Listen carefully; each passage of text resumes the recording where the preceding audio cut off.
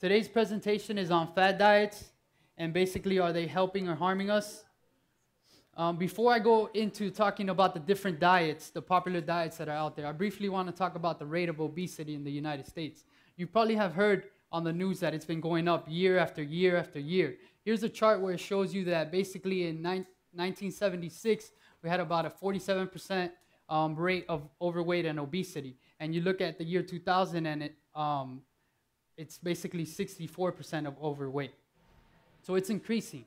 And the reason why we're so alarmed by this, by this increasing, is um, individuals that are obese have an increased risk of, if you can see on the TVs, of cancer, high blood pressure, um, acid reflux, heart disease, diabetes, sleep apnea, and many more things.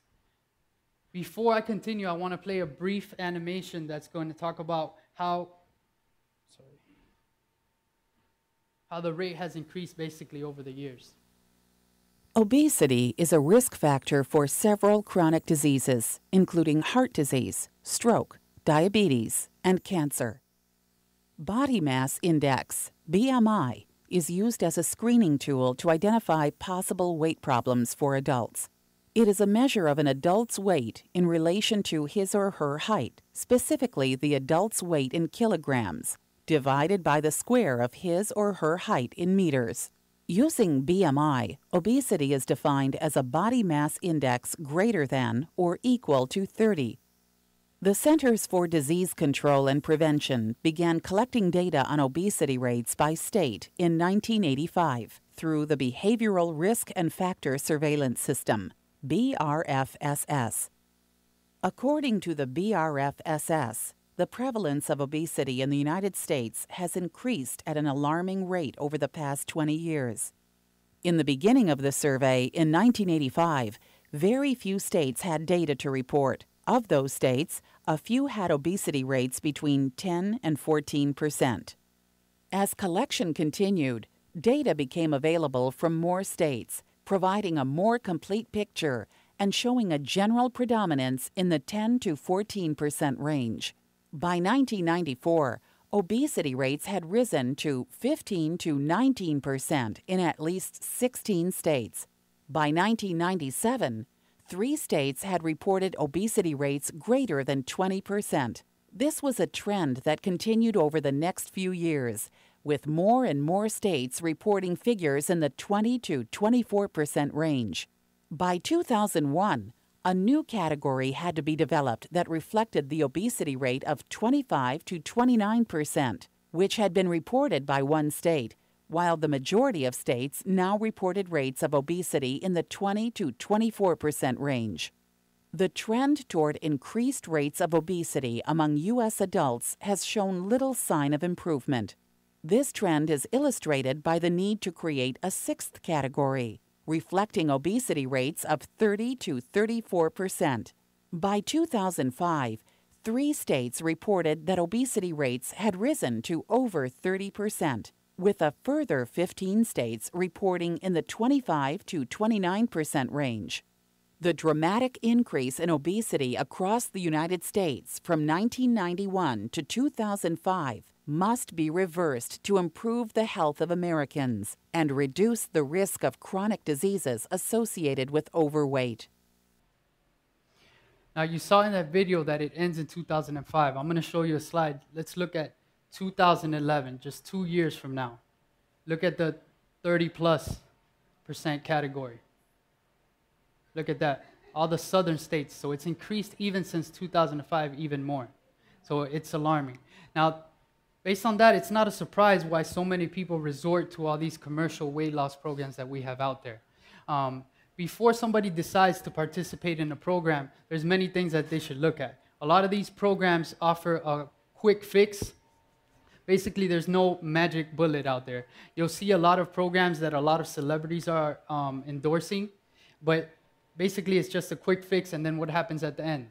You get into this yo yo dieting. Basically, you lose the weight, then you gain it again, and then you go back on a program. Um, over 50 million Americans each year are basically participating in these weight loss programs. And only about 5% keep their weight loss in the long term. Only 5%. Have any of you in here ever or known somebody that has in, engaged or participated in any of these weight loss programs? Probably know someone. Yeah, many people. Um, again, before participating in a weight loss program, you must also be aware that um, there's a cost to most of these programs. Sometimes you also have to buy products from the program, or there might be an ongoing month, monthly cost, and we'll go over each program in detail. Now, it'll take us all day to go over every single program that's out there, so we're briefly just gonna go over some of them. And a lot of them have fraudulent claims. They offer quick weight loss, and yes, you will lose the weight at the beginning, but most of the time it's because they're restricting your caloric intake. Um, another thing to take into consideration before investing in one of these programs is on average, um, do clients regain the weight uh, in the long term?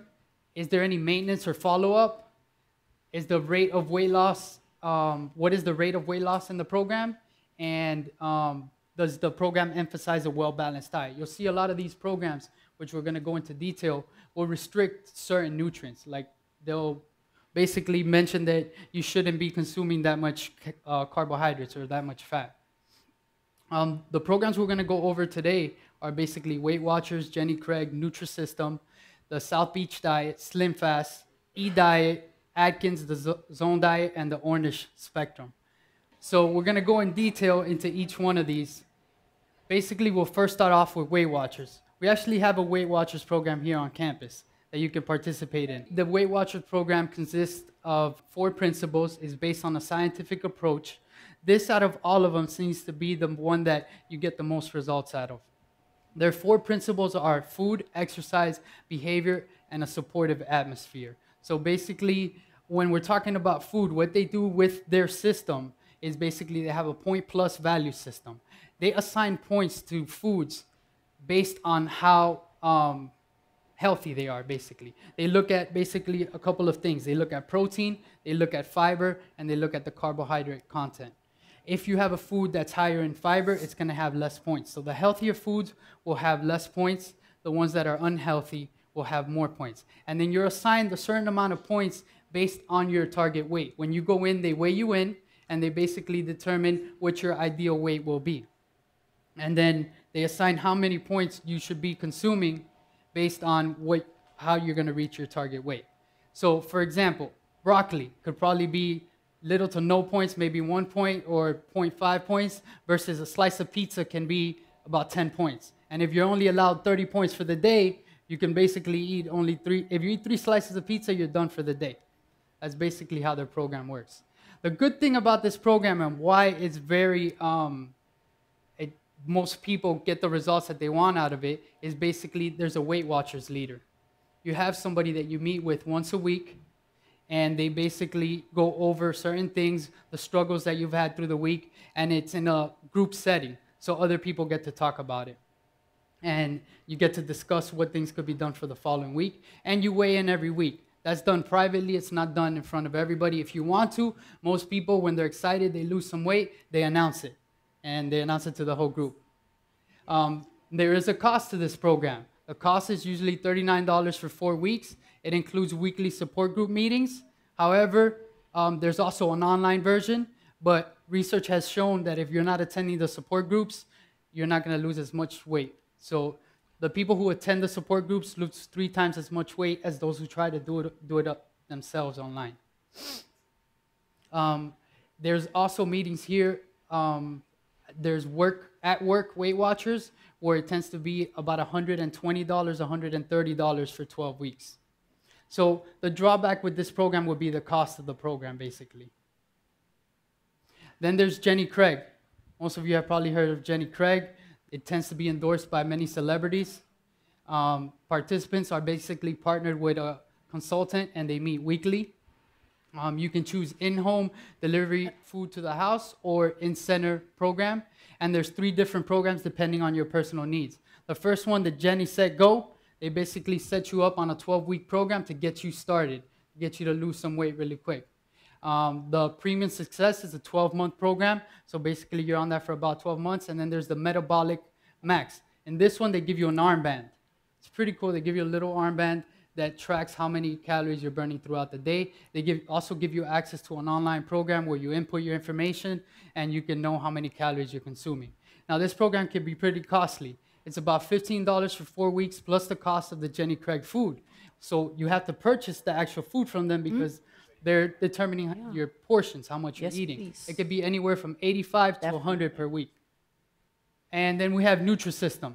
You've seen this a while back advertised by Dan Marino, former quarterback for the Miami Dolphins. Um, it's based on portion control and the glycemic index. Glycemic index basically has to deal with the spike in your blood glucose level. Um, it consists of delivery of food to your house, so that means the foods are prepackaged. So, what's the problem when we have prepackaged foods? What do we need to have in them in order to preserve them? they're higher in sodium. So that's one drawback from this program. Um, there's different programs for males, females, and diabetics. So they determine that based on the needs for a, a male and a female, and if you're diabetic, obviously because because of the blood glucose level. Um, there's an online portion of it. It's for support, and then there's also a weight loss tracker. Uh, the cost of this program is anywhere from $230 per month to 335, uh, $85 per month. So it can get pretty costly. And then you also have the South Beach diet. Um, this was developed by a cardiologist uh, but from the University of Miami. It was originally developed for cardiac patients and diabetic patients to improve, their blood chemistry level um, and in order for them to lose weight. However, he found that it was pretty successful, so then they started marketing it to the general public. There's three different phases. Phase one, in this, they did the research, they determined that most of us crave carbohydrates. So, phase one, you eliminate all carbohydrates. For 14 days, no carbohydrates are consumed. So, basically, obviously, by doing that, you're gonna lose weight in those first 14 days because you're gonna lose water weight. Then you start to reintroduce some of the carbohydrates, but then there's still some that are, that- that are limited. You get to consume specific carbohydrates, and then phase three would be the maintenance phase. Um, they also provide an online support, and they have something called now the Supercharge Fitness Program, where they're including fitness. All of these programs have determined that you also need the physical activity component, because just with the diet component, some people can't get the results that they need. The cost of this program, if you go with the online program, is $4 per week.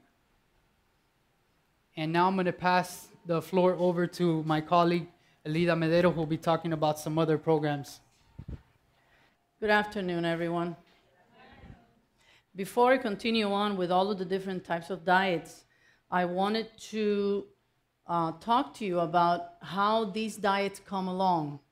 So when you look at them, you look at a cardiologist came up with it, a doctor came up with it, uh, they are um, medical scientists, they are this and that. But when you are dealing with food and nutrition, and you talk about a doctor, most doctors, they will have one, two classes of nutrition. And then they go into their specific areas. If you're going to be a teacher for English, you're going to take a lot of English and a little bit of math, and so on and so on. So, why is it that these doctors are the ones that come up with these diets as opposed to a registered dietitian? So that when I was doing research about this, I'm thinking, why are doctors doing this when this should be done by a registered dietitian? These are the nutritionist specialists.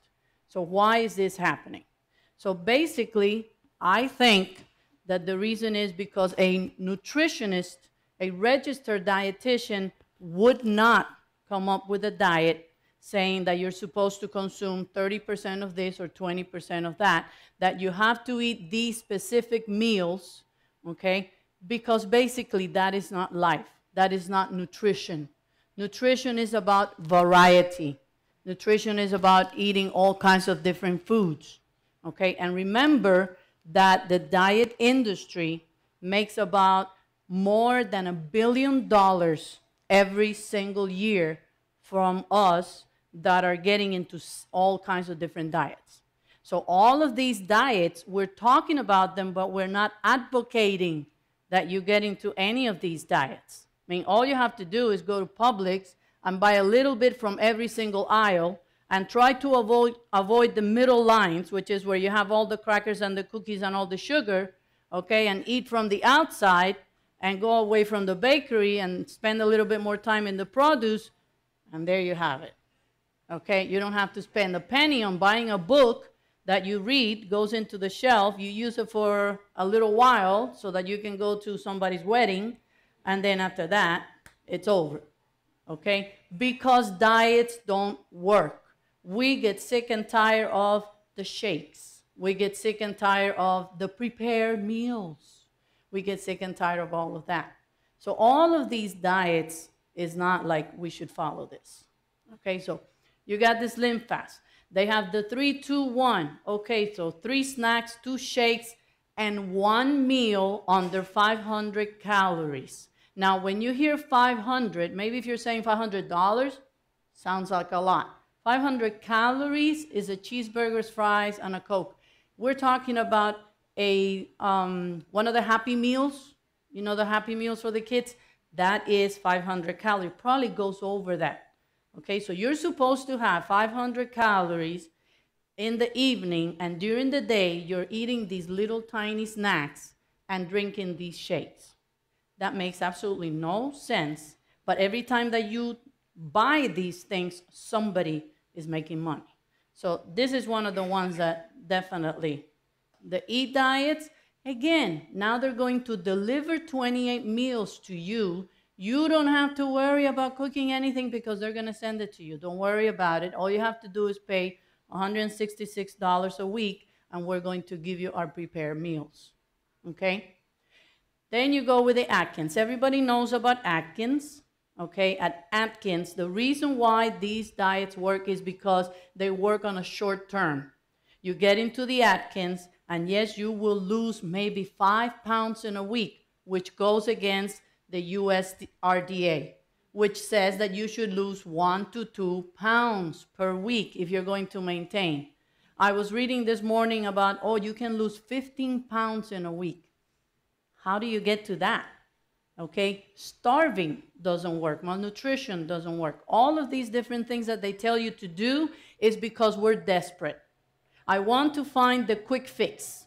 I don't want to do what these people tell me in the wellness center that you need to exercise and you need to cut back on calories. That is like too much work.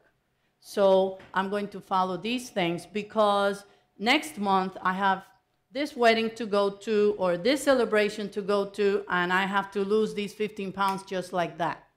Okay? So it doesn't matter that in October I don't have 15 pounds over, I have 20 pounds more. Okay? Which is usually what happens, and that's why they're called yo yo diets up and down, up and down, up and down. So this is another one, Atkins. They say you eat the fat and the proteins because then you're not going to be burning the carbohydrates because you're not eating any. Okay? But all of that goes against the USRDA, which says you should consume 55 to 65% in carbohydrates, but not the carbohydrates of the cookies and the pies and the white flour and the white rice and the potatoes. No, the carbohydrates of the green vegetables and the high fiber and the sweet potato and everything that is healthy for you. So we get this thing about the carbohydrates all confused. Okay? Now, when you're talking about calories, calories are calories. Okay? If you're eating a thousand calories, I don't care where they came from, you ate a thousand calories. Did you burn 1500 calories. Okay, you burn 1500 calories and you ate a 1000. So now we're going to lose weight. Okay? A 1000 calories. You only burned 800 calories. You're going to gain weight regardless. That's just the way it is. Okay, now when it comes to the carbohydrates again, okay, your body, you eat the food, okay? And the body says, okay, I got these carbohydrates here. If I use them today, that apple pie that I ate, if I use it, then tomorrow it's not going to be stored as fat. But if I don't use these carbohydrates, which are the first ones that are burned, but I only burned 800 out of the 1,000 carbohydrates that I ate, that means tomorrow I'm going to wear it, okay? I'm going to store it. The same thing is going to happen with the protein. You eat protein, that's wonderful. You used it for the hair, for building your bones, your muscle, for everything that protein is made for. We got leftovers. Where do the leftovers go to? It's called the amino acid pool. Think of it this way. This is where the amino acid pool goes. Think of the receptacle, okay? Very little.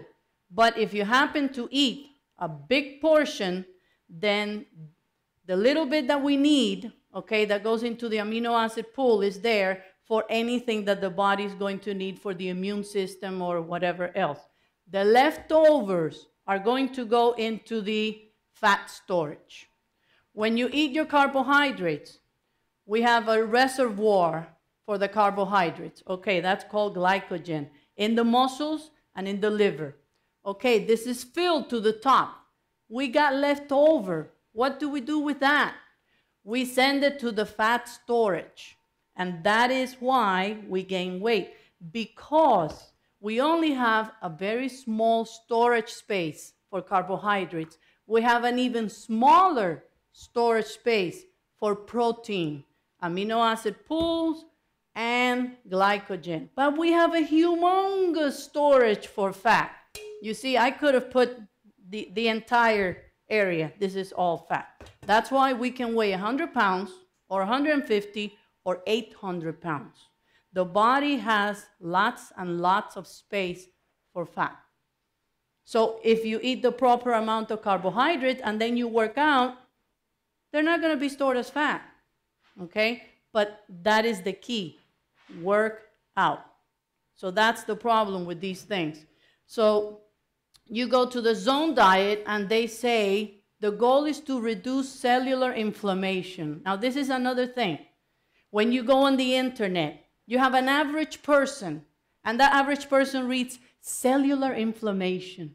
What the heck is that? It must be good because they're saying that that is what it's for. It doesn't make any sense that you're consuming 40% of protein and 30 and 30 of protein and fat. What do you need all of that for? Why do we need so much protein? We only need 0.8 grams of protein for one kilogram, which is 2.2 pounds of body weight. Women need 40, 50 grams of protein, not that much. Men maybe 60, 70. That's it. We don't need the protein shakes, the protein bars. We're not going to the Olympics, so we don't need that. Okay? So again, the cost $179 a week. Okay? Dr. Ornish from California, he came up with the Ornish Spectrum. Now, this one is high in plant based food, which is good. But the problem is that many of us don't want to be eating a lot of vegetables. So that's a downside. Even though it's good for you, a lot of people don't want to do that. People have more taste, more desire for fat. So this is a good one, and you can just follow it, just, you know, following whatever nutrition book okay, or looking USRDA online and just following that, okay? But again, you have to pay for all of these different things. What is the good? What is the bad? Well, the good is that many of the programs, okay, they give you the meals and they say, here it is, there you have it. And they tell you you should exercise, okay? Many of the good things.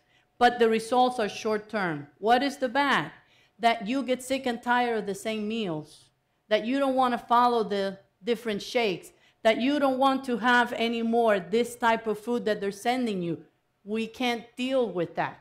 So what happens is that we lose weight, we gain weight, and they all cost money. So that's something else to think about. Then you have the medically supervised programs. These are weight loss center, and there you have two of the most famous ones, the health management and the OptiFast and they're very good for people that are obese, but you're paying a lot of money for this as well. Now, they are clinically managed, which is great because you go and they do all kinds of cholesterol checks and everything, but you have to go to this center and they're going to tell you which meals you're going to consume, which comes from them. Okay, and on top of that, you have to pay lots and lots of money because the cost is pretty high, anywhere from 1,700 to $2,200. Okay? So it's good because you have the medical exam, but it's also bad because you have to be paying these people all the time. All right? So again, then you have the nonprofit self help programs. But the, the problem with the self help program is if we could do it by ourselves, we wouldn't go anywhere else, right? If I could just say, I'm going to get up and go exercise, then I wouldn't need to go and ask anybody else for help. Okay, so this requires that you say, I'm going to do this and I'm going to abstain from compulsive eating. And you know that if you're sitting in front of the TV watching a movie, what are you going to do? Most of the time, we're going to snack. So that's the thing. Some people, when they get depressed, they eat. Okay, some people, when they're very happy and, you know, let's celebrate, we always bring in food. Okay, and usually it is not broccoli and cucumber. Okay, so the claims and truth of fad diet. They tell you you can lose weight easily. Well, there's all kinds of complicated things. And even with Weight Watchers, you got to follow all the little numbers, or you have to buy their food, and you have to do this and that. Okay? Uh, another claim you can lose weight by eating a specific ratio of carbohydrate, protein, and fat. You lose weight when you eat less food and you exercise more. That's all. Okay? It's all about energy nutrients. High protein diets are popular because they work. If they worked, all of us would be skinny in the United States. And we know that over 60% of the population is overweight. The reason why they say that they work is because it's a quick fix. Okay? Oh, I can do this and lose 10 pounds in two weeks. Beautiful, I'll do it. But this is not for a lifetime. It works for a little bit, not for a long term. Okay? Thousands of people have been successful with this diet. Every time you see one of those commercials, you never see that Harvard Medical School, okay, is supporting this. Or you never see that a scientific research was done. They come up with uh, oh, many claims on how successful this diet is, and then they put a person before and after. That's usually what happens. Okay? High protein diets energize the brain. Did you know that the brain works on glucose?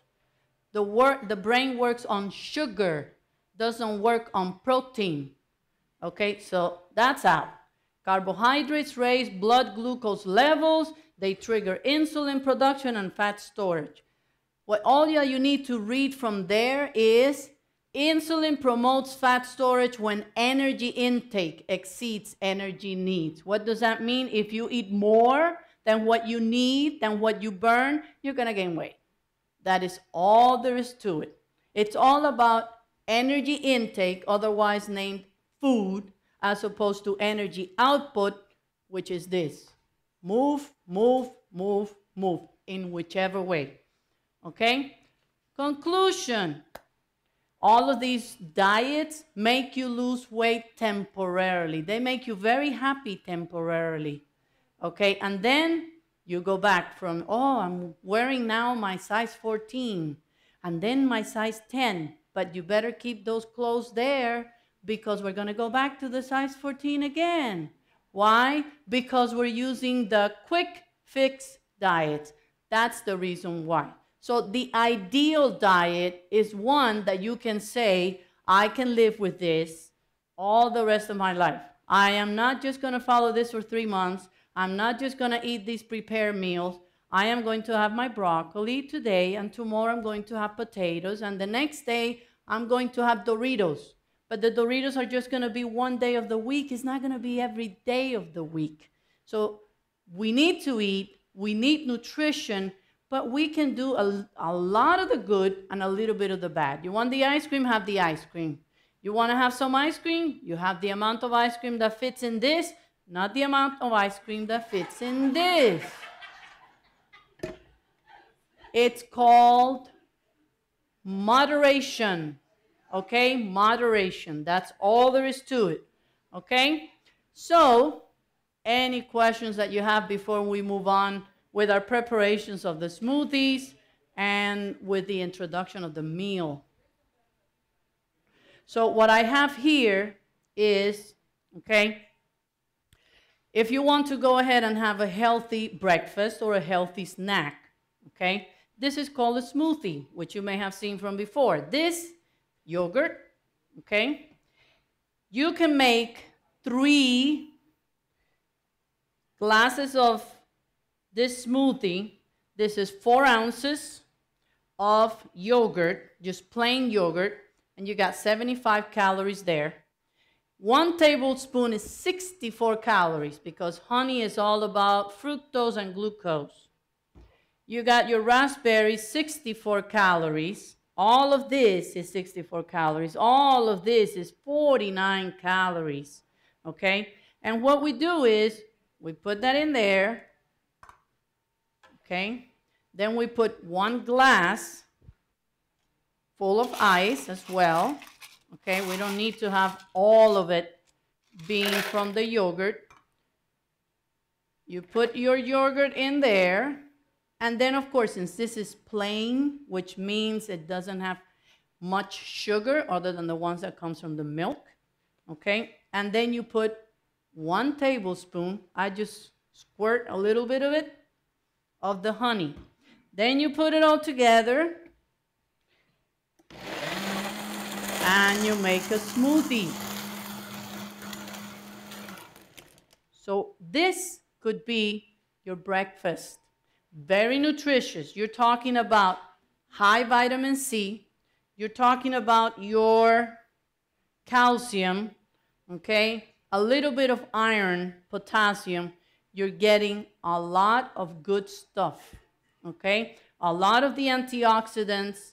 You have a little bit of sugar you have the good protein of honey, which is going to give you thiamine, a lot of the B vitamins, as opposed to putting sugar. Sugar is just glucose and fructose. But when you're dealing with the honey, you're going to get a good bunch of the vitamins, the B vitamins specifically. Okay, so it's, a, it's sugar, but it's a little bit of good things coming along with it, vitamins and, and, and um, minerals. So what we're going to do is we're going to talk to you, Daniel. We're going to talk about the food that you're going to have now, which is a healthy Cuban cuisine. So it's a twist on the typical Cuban meals. Okay, so as Professor Madero mentioned, we're going to have a healthy Cuban cuisine. So basically, a little twist on um, ropa vieja. Has anybody ever had ropa vieja here? It's usually made with beef. But what we did this time around, the chefs here at the Miami Culinary Institute put a little twist on the traditional dish, and we made it with turkey. Um, it still has the same sauce that uh, tomato sauce, but not as much of it. We also made congrí. We made it out of brown rice. It's usually made out of white rice. And I was talking to the chef. They usually use um, the fat from pork to give it some taste. What we did this time around, we put vegetable oil instead. And then we have a fruit salad. And in addition, we have a little surprise for you. We also have some potatoes. The skin wasn't taken off of it, and they cooked it al dente. So basically, it's not cooked all the way. The reason for that is so it doesn't lose all the nutrients. Sometimes when you cook vegetables all the way, all the nutrients leach out into the water and you're using losing some of the nutrient content. Before all of you leave, I want to briefly introduce the chef who prepared this meal for you. Um, her name is Marta. She prepared the tasty meal that you had today. Thank you. Thank you very much. Really appreciate it. This program is brought to you by Miami Culinary Institute at Miami Dade College. For more information about the schools and the culinarium program, please visit www.miamidadeculinary.com or call 305 237 3276.